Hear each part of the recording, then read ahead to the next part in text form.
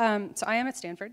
I'm in the interdisciplinary program in environment and resources. So it's a bit of a choose your own adventure PhD program because I am not affiliated with any department. Uh, we're not affiliated with any particular faculty. So we get to choose our advisors from wherever we want and we get to work on whatever we can convince our advisors is worthwhile to work on. So as an example of how interdisciplinary our program is, my committee is made up of an engineer, a coastal policy lawyer, an earth scientist, and an English professor. And today I'm going to talk about the work that I do with the English professor, uh, because what we do is actually in the um, in the slide that Greg showed, where he had the risks on one side and the counterbalances on the other side, the adaptive capacity. What I'm trying to do is find a better way to analyze that side of the equation, a better way to understand what are the factors that make our governance systems in particular be able to adapt. And so the reason I think about this is because it goes back to what you were saying, sir, about non-stationarity. That the problem of climate change is not one where we can look to the past in order to predict the future. When we see variability in the environment, we can respond and we can adapt when we see disasters, like too much water or too little. But we're going to have to adapt, and then climate will continue to change, and we'll have to adapt again, and then climate will continue to change, and we have to adapt again, and so on and so forth. So as a lawyer, what I'm really interested in is when we write laws, we write a law and we assume that the law will be the law forever. So the way that we measure the sea level is a 19-year average, and that was decided by the Supreme Court in the 1900s. The same Supreme Court that decided that Major League Baseball is not a business. But they decided that in the 1900s, and because they decided it, that is now the truth forever and always, no matter whether or not the reality changes. And so one of the interesting things is in any situation where the science is going to change, how do we write laws and create government systems that can respond and be flexible in a similar way? And we can use any of these words to talk about it. Um, a lot of these terms mean the same thing or different things, and I'd love to have the semantic discussion over what exactly all of these terms mean. You've probably seen them all in different contexts. But the one I'm really interested in is this concept. It's how do we respond flexibly to changing conditions, to take advantage of opportunities or mitigate risks, without losing the ability to respond to further change in the future. So how do we avoid lock-in?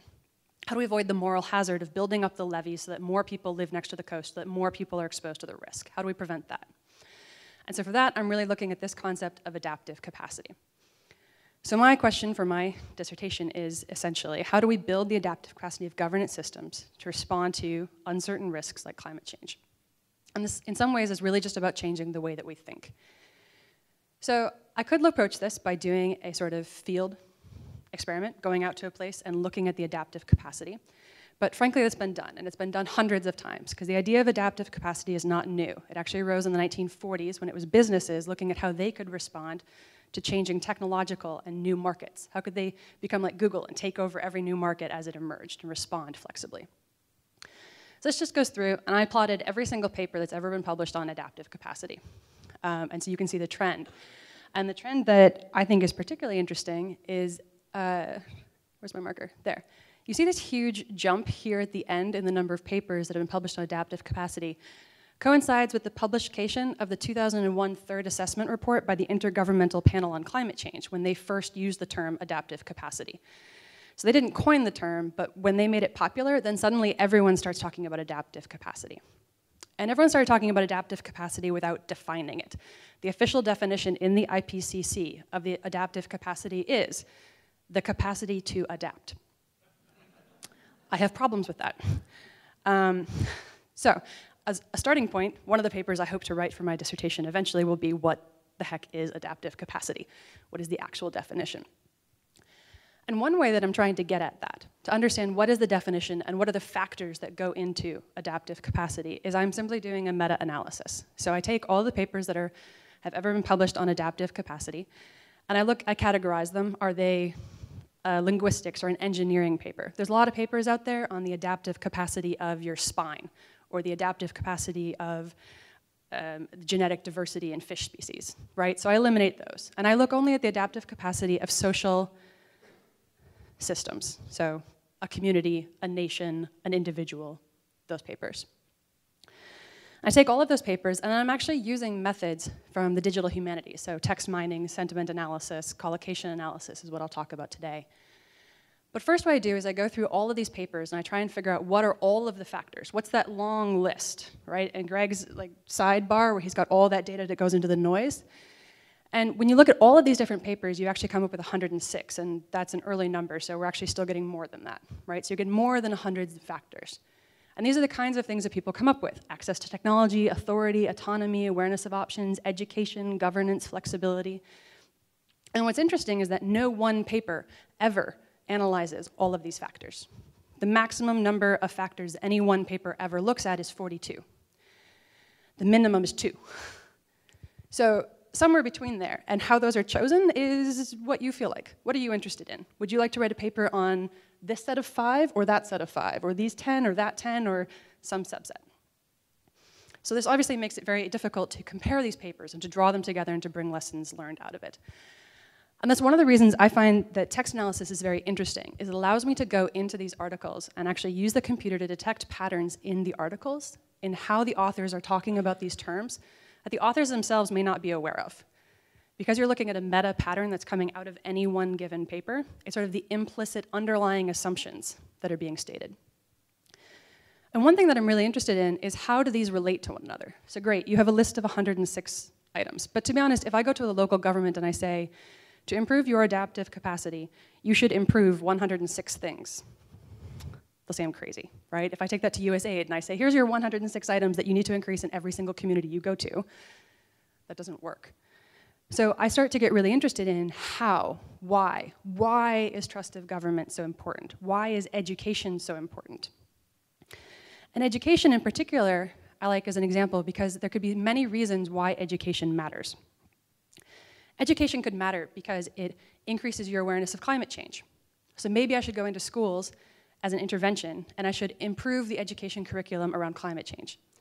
Maybe it matters because if you have more engineers who can come up with more technical solutions, they have more adaptive capacity. So maybe I should push people into STEM fields. Maybe it matters because it's a marker of socioeconomic status.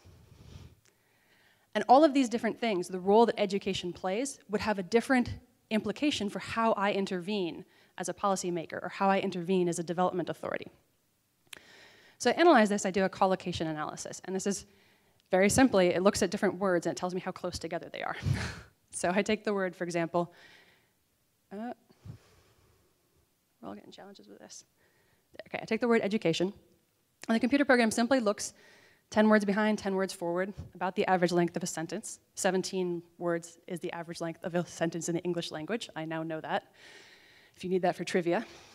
And, uh, and it looks, and it finds that, say, the words wealth and people are statistically frequent to show up next to education, statistically more likely to show up next to education than any other word on my list of 106. But then I noticed that people really isn't that significant because people shows up so often in the entire literature, so that wealth is really the important one. And here's what I get. I find that the five words most often associated with education are occupation, wealth, income, awareness, and knowledge. When you start going back, then you can look and you can pull out the sections of text and start looking at this. What this tells me is that education in the literature to date is not playing a role of building awareness and knowledge, or that role is much more minimal than its role as a socioeconomic marker of wealth, occupation, and income, on the order of a magnitude of 10. Look at this, this final column on the right is the observed correlations versus the expected, given the frequency of these words in the texts. That's an order of 10 magnitude difference between occupation and knowledge.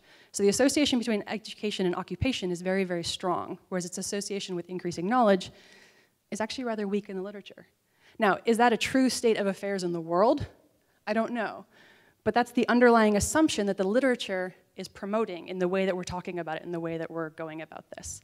And so this, I think, raises interesting questions about how we intervene with education. Or should education be on our list of factors that should be intervened in? Furthermore, I can use this uh, collocation analysis to create a network. so this is a very messy network, uh, which I just use Gephi open source software to create this network. And then I uh, give it a size, each node has a size, which is its betweenness measure. So the betweenness measure is sort of its centrality to the network, how important is each node in the network. And also it detects on its own, it detects communities. So it does a community detection algorithm where it creates these different groups. And again, you can see that education, for example, shows up here next to school, occupation, literacy, health, right? And not interestingly, next to knowledge or information or some of the other factors where we think it, thought it might be. So I'm still playing around with this because I need to, I'm working on the, on the uh, modularity analysis, the grouping. Um, but there's some interesting results there. The grouping is very strong. You can run this 100 times and you get the same group about 98 times out of it. Um, so the grouping analysis is very strong in terms of how these words are tied together in their groups. Uh, and I'm still doing the analysis on, on how that works. But what it starts to indicate, and the way this is different, is um, it starts to indicate a new framework. So that rather than giving people 106 determinants that they need to focus on, or even rather than giving them some list that I come up with, the IPCC has a list of six, um, including you need technology, you need resources, you need education. Um, I'm saying technology and education and resources aren't actually important. What's important is the role that they play. And so the role that education plays might be to raise awareness. The role that education plays might be to create motivation. The role that education plays might be as an access to resources through greater occupation and income. But education is not important. What's important is what it gives you, what the function is that it has. And so this is where I want to um, the grand ambition for my dissertation is to try and shift the discussion from identifying the list of factors to starting to talk about the mechanism of how those factors work and why they matter.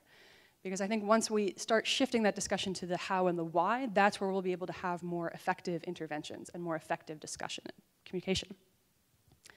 So this is, uh, again, everything I'm going to tell you today is a work in progress because I'm still in the middle of my PhD. But you need to have some adaptation options that exist. Can be very much constrained by your geographic conditions, such as uh, in Florida, building seawalls is not an option because of the geology, because of the limestone and the ability to build those. In other places, that is. Uh, so there's some constraint just on your geographics and your demographics. You have to be aware of both your risks and your options as a decision maker. Uh, if there's an option, but I've never heard of it, then that doesn't really help me. Uh, if I'm not motivated, and this can be both my motivation, but also my constituents. So if I'm a mayor who really wants to relocate homes away from the flood zone, that's nice, but it probably won't happen. So that's not as important as motivating my constituency. And again, there are going to be multiple ways to get this. So when we start mapping those 106 determinants onto this kind of framework, you can see that many of the determinants will fall into each of these categories. So for example, to become aware of my options, I might become aware of my options through education. I might become aware of my options through a social network. I might become aware of my options through my experience. By having been in an earthquake 10 times, I now know what works or what doesn't work. And what matters is not that I have to have all of them, it's that I have to have something to check off each of these functional categories.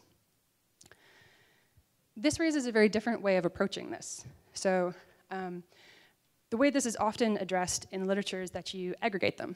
So you have you say, we need some authority, you need some financial resources, and you need a social network.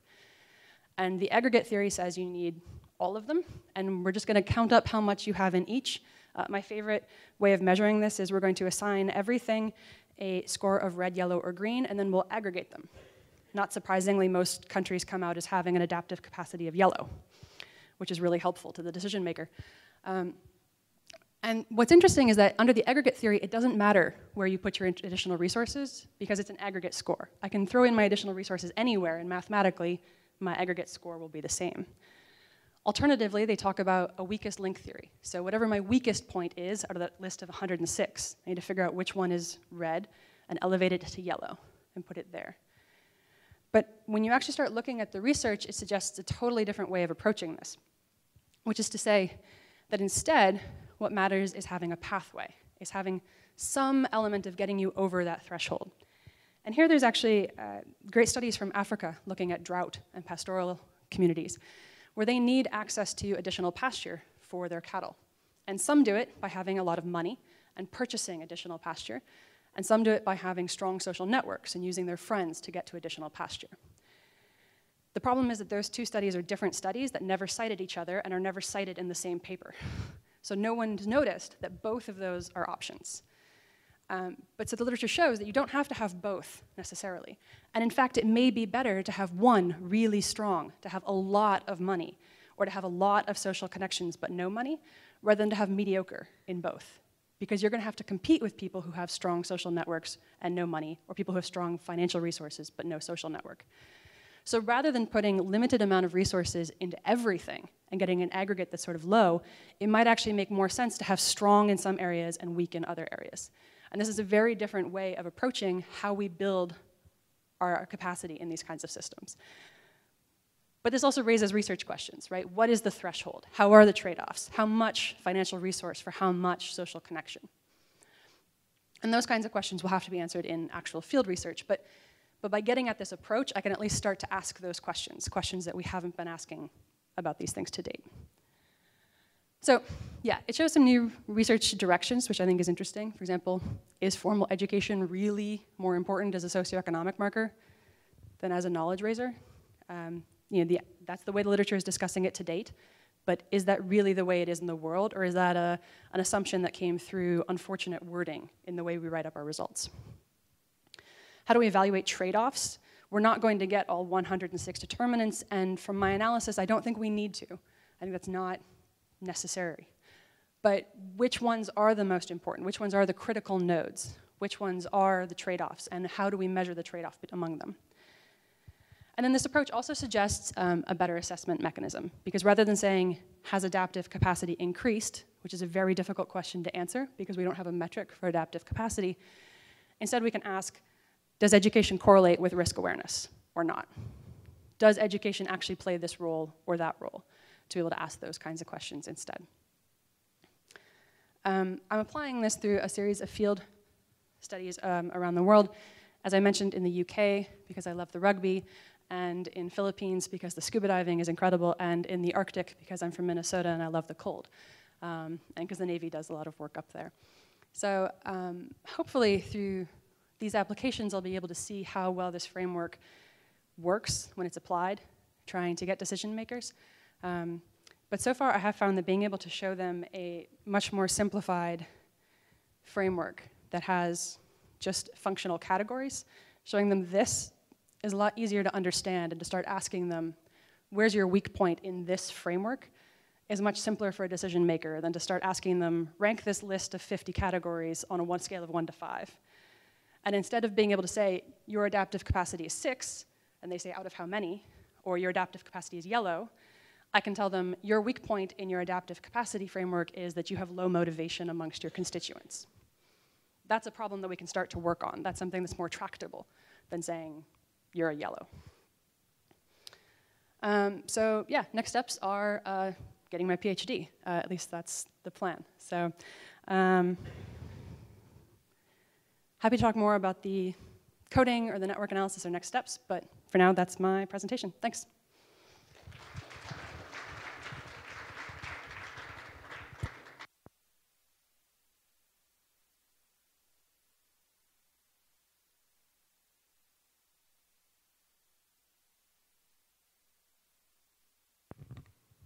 So do you understand why these two young ladies are the first two scholars? Yes, sir. In the word collocation exercise, we analyze papers all the way from 1940s to 1950s to today. Yes. Did you incorporate any pattern of change in the way we write things over past 80, 60 years or 80 years almost? Yeah. Um, so, so one of the things I just completed actually is, uh, it, unfortunately I have to go through by hand at the moment and tag everything. so I just went through and coded a lot of um, these papers, and so I'm starting to look at them in time series, in chunks um, of decadal right now. So looking at the different decades and how they respond. Um, the biggest pattern that's changed though is the topic shift, right? Uh, we don't talk about adaptive capacity to climate change until well into the 2000s. Uh, everything before that was either general adaptive capacity or particularly in the workforce. There's a lot of economics work being done on adaptive capacity in the workplace, um, which the lessons are still very comparable, even though the subject matter is different.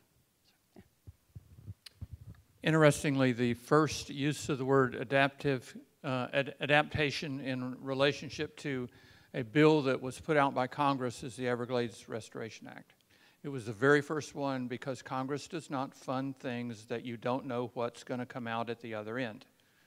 And um, so adapt, that was a big step for the feds to literally put the word adaptive uh, management in, into the, the CERP Act. Okay. Uh, Kirk and, uh, and um,